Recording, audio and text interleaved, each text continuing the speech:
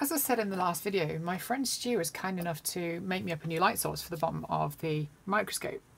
Now, what he's done here is he's used an iris, I think it's from a camcorder, I think that's what he said, to make it so that I can reduce the amount of light that's coming into the microscope objective.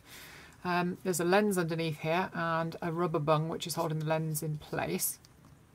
And then in the bottom of the unit, there is basically a LED torch that's been taken apart and, and repurposed with a USB cable that comes out the side of it that can be attached to either a USB power pack or into a computer as well.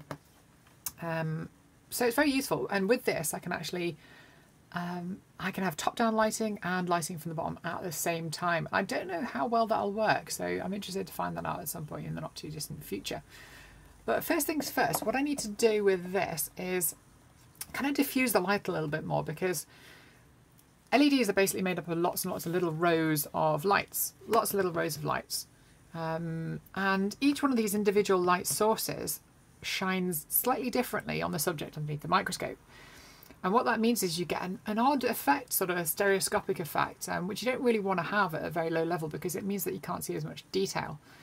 So what we need to do is make it so it's a little bit more clear by diffusing the light. Now, there's various different ways you can do this, but what I've done is I've taken from this old halogen unit uh, the diffusion panel on top.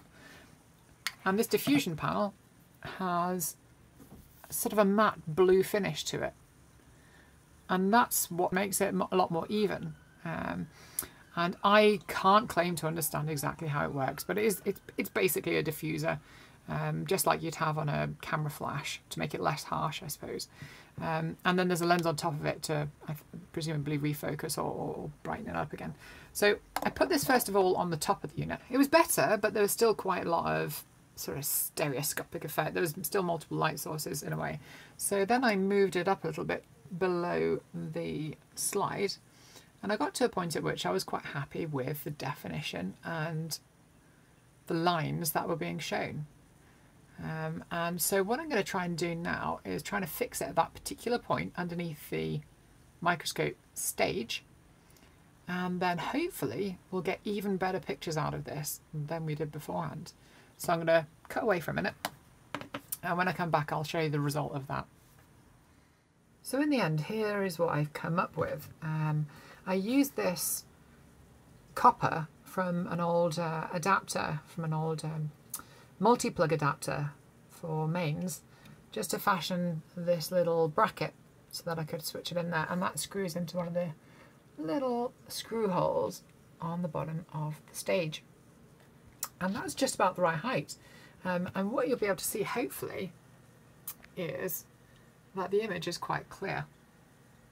Whereas without it if I just take that out of the way swivel it round that's the image without with various little artifacts and multiple images, etc, etc. So it still looks quite nice.